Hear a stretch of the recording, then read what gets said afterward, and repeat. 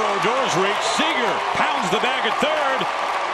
The throw home not nearly in time, and the Mariners have found a three spot on Texas here in the first inning. So the stolen base pays off for the Mariners right away. Talked about Gutierrez and Dae-Ho Both of them have been swinging better lately, and it's made a difference for the Mariners of their run production.